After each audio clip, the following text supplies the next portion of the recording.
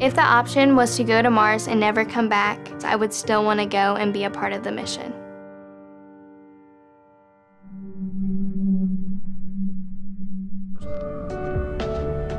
Little did I know that I would be raising a child that I'm supporting to leave this planet.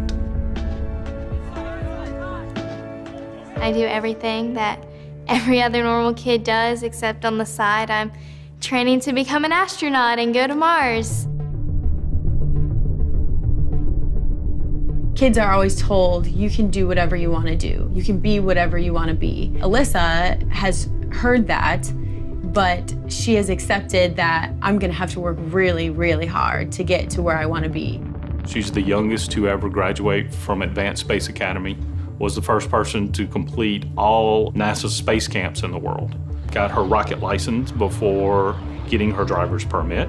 Currently, I have my basic scuba diver certification and I'm working on my advanced. She's doing the International Baccalaureate, so she's doing college level classes in 10th grade. Multilingual education, so she's taking her classes in four languages English, French, Spanish, Chinese. She's got the right mental attitude. She's doing everything that she can physically here on Earth to prepare herself for that journey to Mars. I don't think there's anything specifically that kind of makes it easier for me or makes it something that others can't do. It's just something that I've kind of really focused myself on what I want to accomplish. By the mid 2030s, I believe we can send humans to orbit, Mars, and return them safely to Earth. Going to Mars is absolutely essential for continuing of the human species as a whole. It is very important that we keep exploring because it has already been said that a single planet species will become extinct. Just going to Mars is that first baby step in showing people that we can move on from planet Earth, which is kind of like our little cradle now. We're destroying our own planet. If we don't continue to explore, we could end up not having a planet to live on. So even though there are a lot of risk in going to Mars, I believe that the rewards are so much greater. Yeah, space is a dangerous place, and yeah, there's so much that I'm giving up for it, but at the end of the day, there's so much good that can come from this mission.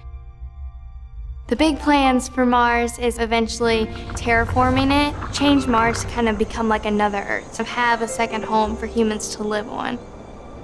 Um, that's checkmate. Oh yeah! There are companies that want to send one way and colonize Mars, and then there are people like NASA and ESA that are working together that want to have a return trip. So I still have to look at it as a father that I'll have my child for 20 more years and then I may not ever see her again. And that's hard. But for what she's wanting to do, I have to support her. I have to let her go. It's bigger than the two of us. We know that the next 20 years together is going to be important because we know for sure that those are 20 years that we can spend together. Obviously, it's not the best thing to be telling your daughter to go and go on a mission to Mars and leave the planet, but I still know that he supports me anyway. It's cool. there are a multitude of challenges to become an astronaut. You have to have the right mental attitude, you have the right health, you have to have the right skills Last year we put out a call for the next cadre of astronauts. We had thousands apply and we're accepting less than 10. The biggest challenge for Alyssa is just trying to get everything done that she wants to have for her unique resume. Specifically for the Mars mission, I would say that they're even more precise about who they want for that mission. So thinking about all that motivates me to put in the hard work now that I know to build up kind of a good resume that helps me stand out from others when I do apply.